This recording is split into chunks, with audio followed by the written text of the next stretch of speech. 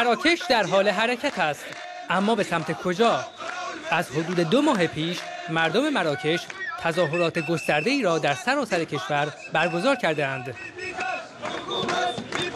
خواسته عمده این اعتراضات برقراری دموکراسی است و در آن اخشار مختلف مردم شرکت دارند. خبرنگاران خواهان استقلال بیشترند، بیکاران تحصیلگرده خواهان شغل و معلمان درخواست افزایش حقوق را دارند.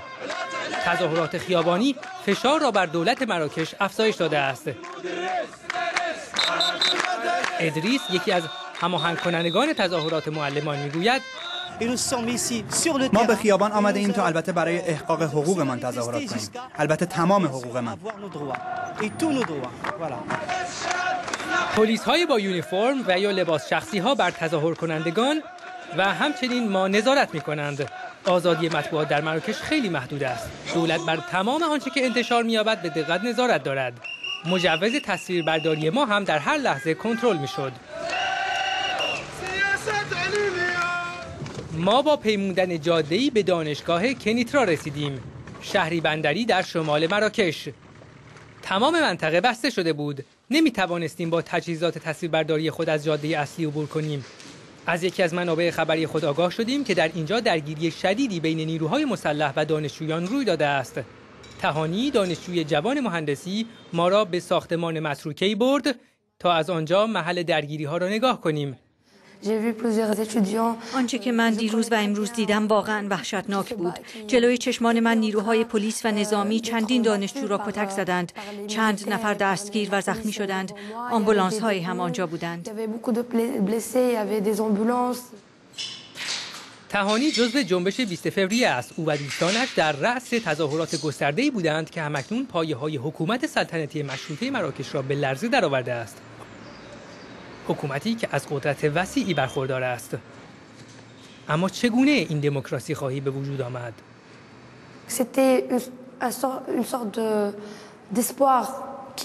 مصری ها و تونسی ها این امید را به ما دادند با بحث هایی که به روی اینترنت و فیسبوک به راه انداختیم توانستیم هماهنگی هایی را در تقریبا تمام شهرها و روستاهای مراکش به وجود آوریم ما فقط جامعه ای بدون سرکوب می خواهیم جامعه آزادی دموکراسی و حقوق بشر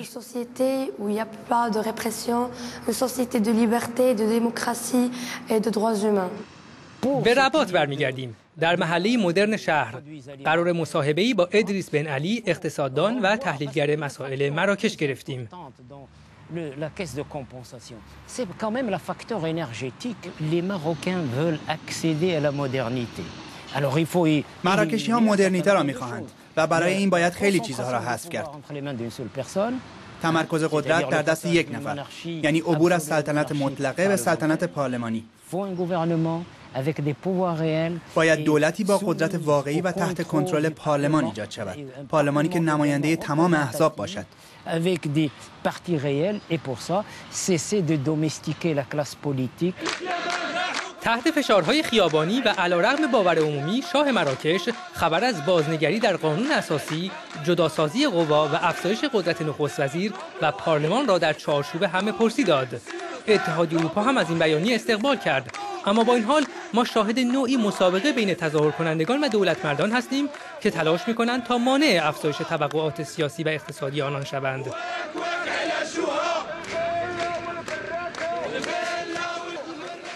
دولت برای جلوگیری از پیوستن سیل مردم فقیر به تظاهر کنندگان یارانه مواد اصلی زندگی را دو برابر کرده است. اما نانواهای محله تاریخی رباط نگران سوجوی وارد کنندگان از این سیستم هستند.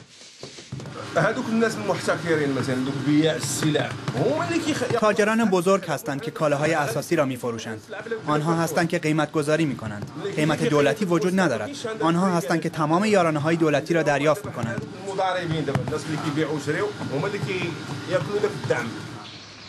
در حالی که عربی در حال فروش 1200 نان روزانه خود است یارانه های زیاد هر روز کسری بودجه دولت را بیشتر می کنند اما پادشاه و دولت می‌خواهند به هر قیمتی که شده خیابانها را آرام کنند اقدامی که تا حدود 3 میلیارد یورو برای دولت هزینه در بر خواهد داشت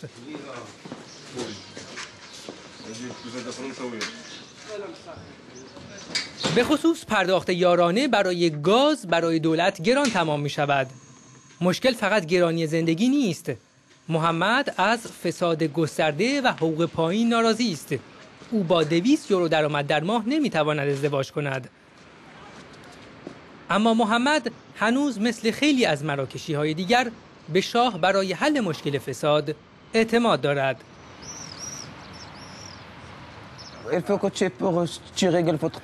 اگر بخواهیم مشکلی حل شود باید رشوه بدهیم. این یک چیز طبیعی است. انشالله پادشاه همه چیز را عوض می کند بیکاری را. شاه اینجا با همه خوب است.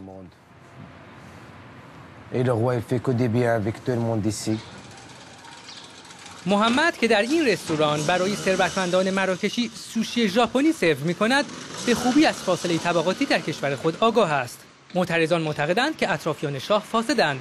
دبیر کل یک سازمان غیر دولتی موسوم به شفافیت در مراکش از رابطه نامشروع بین دولت و جهان تجارت صحبت می کند او صریحا دولت و قوه قضایی مراکش را مسئول می داند. اگر آشنا داشته باشیم از قانون هم در امانیم. ما می‌بینیم که این امر نهادینه شده و بخشی از روش اداره امور دولتی شده است. فساد و بیکاری نارضایتی اجتماعی را دامن زده است. جنبش اسلامی عدالت و احسان از نارضایتی ها بهره می‌برد. نادیا یاسین دختر پایگزار این جنبش است.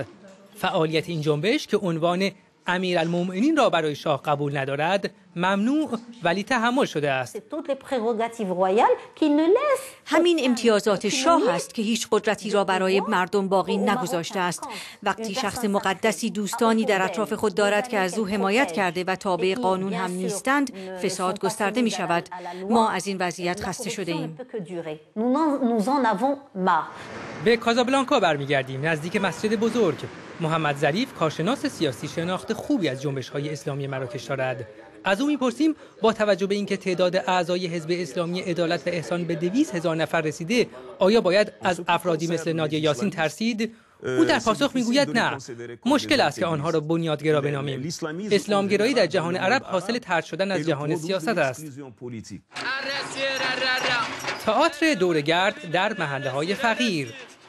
اجرای داستانی سمبولیک برای ایجاد رؤیای جدید اجتماعی پایان دادن به فساد و دزدی.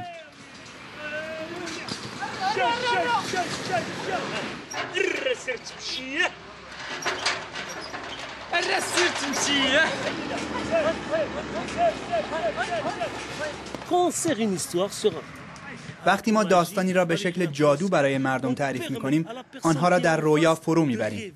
رویایی که این روزها دیگر کم شده است. اما فشارهای خیابانی به چه رویای اجتماعی منجر خواهند شد؟ در ماه ژوئن کمیسیون قانون اساسی قانون اساسی جدیدی را ارائه خواهد کرد. سلطنتی پارلمانی یا یک دستکاری ساده در همان سلطنت مطلقه. بعد از رفتن دوربین ما از مقابل کاخ سلطنتی نیروهای مسلح شروع به ضرب و شتم شدید مردم کردند. بهار مراکش روزهای تاریکی هم دارد.